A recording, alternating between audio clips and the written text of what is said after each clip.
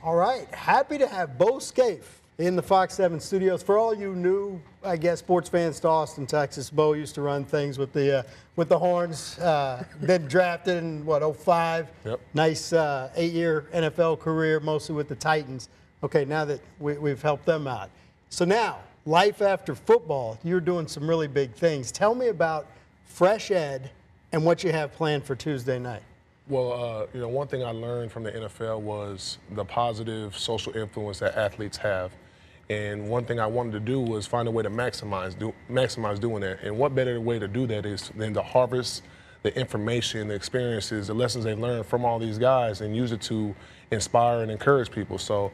Um, I came up with this event concept. It's, it's not nothing new, you know. It's an interactive discussion panel, but you know, when you hear the stories from the athletes from themselves and you find a way to relate it to your own life, you know, it, it's so, you get a lot of gratitude from that on both sides, the person that's listening and, and the panelist itself. So being able to package these events together and, uh, you know, help my guys tell their story, uh, it's wonderful to me. Well, and because you played when you did with the guys and the coaches you had, you have some star power up on the stage with you on Tuesday. I mean, Mack Brown, Vince Young, these are guys sharing what, what they're all about.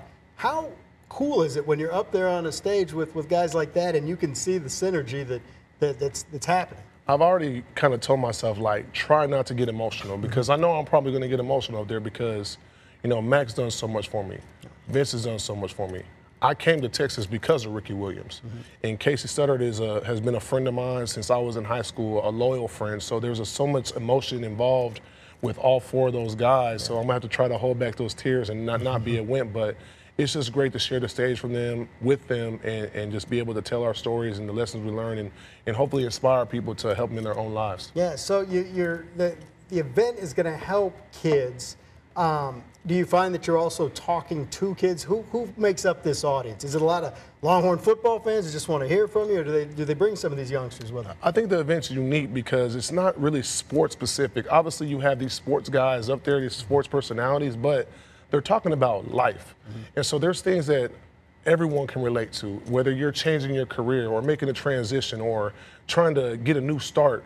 There's so many different topics and age groups, demographics that we're mm-hmm. touching to. Um, the one I had in Denver, I had a bunch of accountants and lawyers in there, and um, there's so many things that football is transferable to with life that mm-hmm. helps people out. So it's it's a family event. It's for young professionals, students, parents. I mean, everyone's going to be able to grab something from this event. Yeah, you know, and you're talking about life lessons and all that. When anybody sees Bo Scaife, they think talented tight end, made it to the league, stuck. Man, he had to deal with a lot of pain. What did you learn uh, physically, emotionally about yourself with your, God, was it six years uh, on the 40 acres? Well, you know, I tell this story a lot, and you know, I was one of those guys. I saw my dreams go down the drain. Like I seen that picture in my in my head where you know it's over. Yeah. And I sat in Coach Brown's office, and you know we talked about a lot of things. I talked about quitting and and giving up, and there was just something inside of me that didn't let me do that. And so I'm thankful for you know Coach Brown and the supportive people that I've had in my life, and especially myself, just believing that I could bounce back. Um, and it's it seemed to work out for me, and I'm just proud that I'm here today and, and very very blessed you know, the whole giving back thing, I think it, it becomes kind of natural the older you get. But what, who put it in your heart? Was it was it the experience here at UT? Was it Mack Brown? When did it start and start growing that you were going to give back eventually? When you when you get to live your dream of playing in the NFL, which that's most guys' dream, you know, when they get there, you're like you can't really imagine it until you're there. Mm-hmm. But being able to play in the NFL and see all that stuff and see the impact I've had on younger people, on older people, and just being able to touch them and, and feel them and help them in their lives, it's something that just grew in me while I was there. Yeah. Being able to see how I put smiles on these people's faces just by shaking their hand or, mm-hmm. or saying hi to them or taking pictures with their kids. So it's just natural for me now to send the elevator back down and help people mm-hmm. to achieve their goals and achieve their dreams and knowing that I have the ability to do that and most athletes have that same ability so teaching them and helping them ways to do that, giving them ways to do that themselves. Yeah. How big do you see Fresh Ed getting? What is your big picture goal for this brand?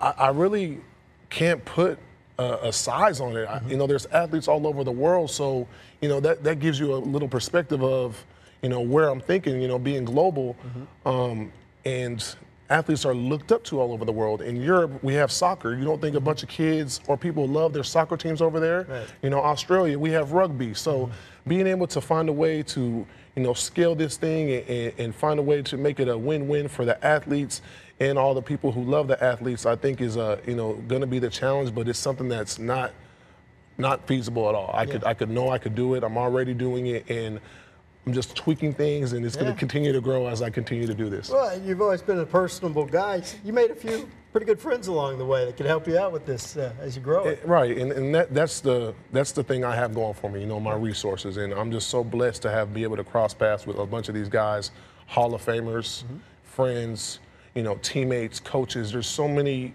unique personalities that I've gotten to you know share time with in my career, and I'm just excited to be able to bring these kind of opportunities to them to.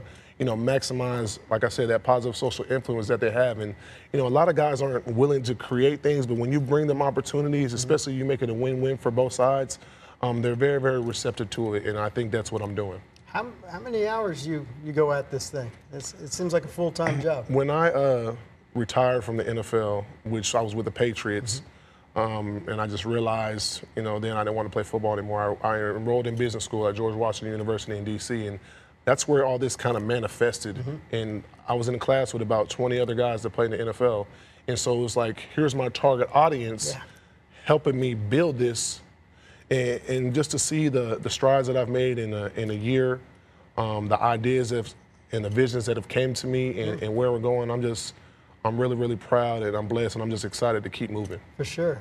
What else is keeping you busy, just hobbies wise, man? Where, where are you living? I don't even know. I live in Denver, and um, you know I'm a father. I have a seven-year-old, so you know obviously as a parent, that's an inspiration in itself. You know you gotta show your kids who you want them to be. So you know I gotta make sure I stay on the, the straight road and, and show my daughter the type of man that she needs to see, and, and be there for all the you know fans and people who look up to Bo Scaife, and you know help guys like me to, to do the same thing. So it's just about being an example to everyone I'm around, and every time people see me, you know hopefully they have good things to say about Bo Scaife. For sure. Um, especially the ones that name their kids after you, right? Yeah. I love that. Yeah. Uh, that's a whole other story. Uh, whenever we get have somebody like you in town, you, we, we, we like to, to know a couple things. You, you're so close with Mack.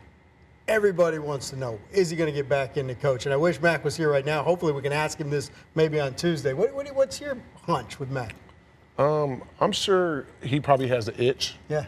You know, most coaches do. It's like something that's embedded in them. And, um, you know, when he's gotten a chance to be away from it a little bit, I don't know um, personally if he's going to be, do, be doing that. And that is something like I think people will be able to ask him and, and find out on Tuesday if they're interested. But, you know, Mack's always going to be a great guy. He's done a lot for a number of people and helped change their trajectory of, of their life. So, you know, a lot of people are in debt to Mack Brown and, and they really love and care about him. But, you know, whatever arena he's in, whether it's on TV, whether it's coaching, you know, he's always influential. Yeah, I know.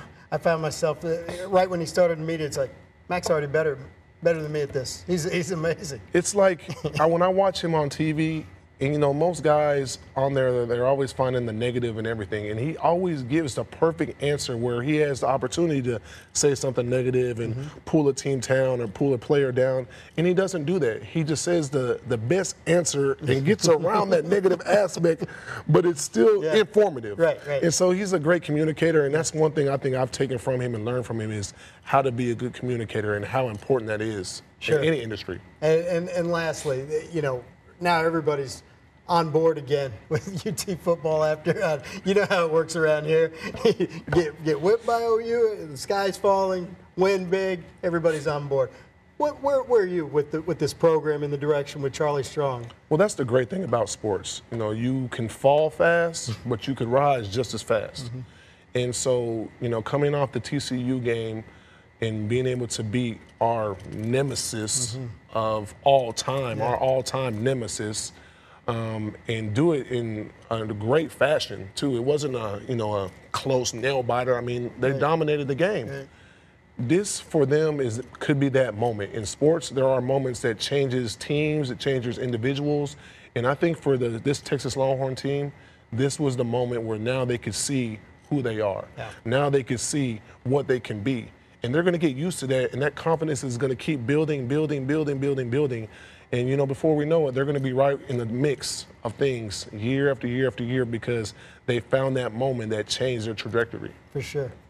Bo, pleasure. Hey man, I love you guys, Yeah. man. I appreciate your support, and uh, I hope to see everyone at the Fresh Ed Experience October 20th. For sure.